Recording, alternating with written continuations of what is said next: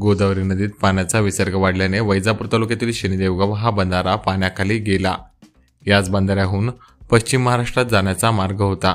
मात्र हा बंधारा पाण्याखाली गेल्याने परिसरातील सतरा गावांचा संपर्क हा पश्चिम महाराष्ट्रापासून तुटला आहे.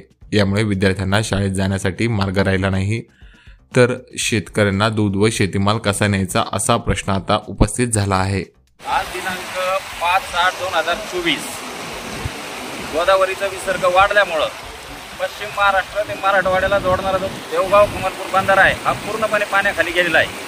त्यामुळं आमच्या मराठवाड्यातील सतरा गावांचा पश्चिम महाराष्ट्राशी पूर्ण संपर्क तुटलेला आहे. पाण्यात पुला नदीच्या पुलावरून पाण्याचा प्रवास चालू झालेला आहे.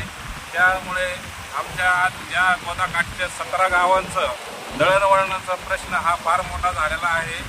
आमच्या संपर्कामुळं आम्हाला दूध व्यवसाय हा ठप्प झालेला आहे पूर्ण प्रकारे. आमचं दूध आज या ठिकाणी घरीच राहिलेलं आहे त्याच्यामुळे